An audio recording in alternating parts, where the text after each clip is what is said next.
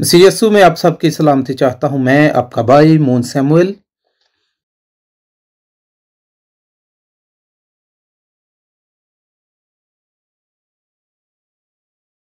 आज अपनी बहन समीना असलम के लिए आप सबके सामने बात लेकर आया हूँ।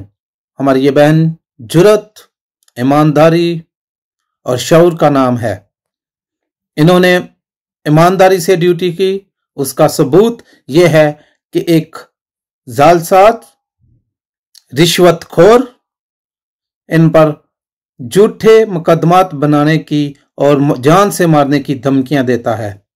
हम ऐसे माशरे की गंदगी की पुरजोर मजम्मत करते हैं। अक्सर कहा जाता है कि पाकिस्तान माशी तौर पर दिवालिया हो रहा है। मैं कहता हूँ कि पाकिस्तान अखलाकी तौर पर दिवालिया हो चुका। ऐसे माशरे में जहाँ पर ईमानदारी की कीमत यह हो कि उन पर झूठे अल्जाम लगाए जाएँ, उनको थ्रेट किया जाए ऐसे माशरे में इंसानियत का कत्ल हो किया जाए ऐसे माशरे को माशरा कहना ही गलती है। मैं अपने बहन भाइयों से पुरजोर अपील करता हूँ कि अपनी बहन के लिए आवाज़ बने, सोशल मीडिया के इस्तेमाल करें, अपनी बहन के लिए आवाज़ उठाएँ। ऐसे लोगों की जो इन इल्जामात में आते हैं, उनके लिए आप बोलने से, उनको तहफ़ देने के साथ साथ अपनी आने वाली नस्लों को भी तहफ़ देंगे। प्लीज़ सोशल मीडिया का इस्तेमाल करें, अपनी बहन के हक में बात करें। और जितने भी सियासी लीडरान हैं प्लीज़ थोड़ा सा आपका टाइम चाहिए अपनी कौम के लिए, अपने इस बहन के लिए। प्लीज़ निकलिए थोड़ा अपना हक अदा कीजिए। मैं शुक्रगुजार हूँ उन लोगों का जो इस वक्त भी अपनी बहन के साथ खड़े हैं।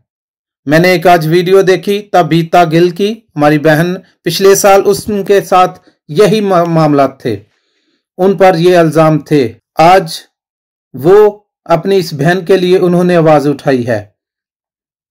खुदारा अपने आप को बदलिए। हम जब तक नहीं बोलेंगे, तब तक पिसते रहेंगे। प्लीज़ प्लीज़ बोलिए, आवाज़ उठाइए, बोले अपने हक के लिए, इन दरिंदों के खिलाफ बोलें जो हमें रोड पे पड़े हुए कचरे की मानंद समझते हैं, जो हमें हर वक्त कुचलने के लिए तैयार रहते हैं, बोलें। एक बहन चंद साल पहले वो, उन पे भी यही मामला था।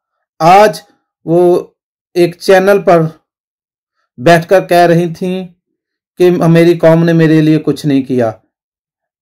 आज उस बहन के लिए भी। मेरी बहन, वो आसिया बीबी हैं। नया दौर चैनल पर, पाकिस्तान के चैनल पर बहन कर, बैठकर उनका मेरे लोगों ने मेरे लिए कुछ नहीं किया। मैं उनको कहना चाहता हूँ कि आज वक्त है कि आप भी तबीता गिल की तरह आप भी कुछ करें। आप इस वक्त उस पोजीशन में हैं, वहाँ बैठी हैं। आप ऐसे मामला पे आप भी अपनी आवाज़, अपनी राय दें।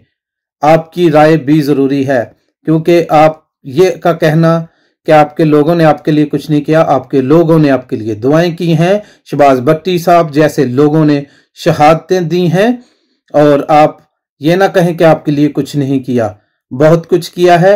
आज आपका वक्त है कि आप भी अपनी कौम के लिए कुछ करें।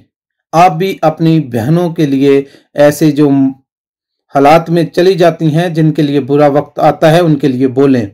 और आप सब भी बहन भाई, प्लीज़ अपनी बहन के लिए बोलिए, आवाज़ उठाइए और हम ताकि इस बड़े, जो हमारे गिर्द, बहुत बड़ा एक, ग्रोह जिनमें अखलाकियात नाम की चीज़ नहीं है, उनके खिलाफ आवाज़ उठाएँ ताकि हम इस बड़े, जो मंसूबे हमारे खिलाफ बनाए जाते हैं, उनमें से निकल सके। खुदावंद, आप सबको बरकत दे, अपनी कौम के लिए और अपनी जलाल के लिए इस्तेमाल करें। आमीन।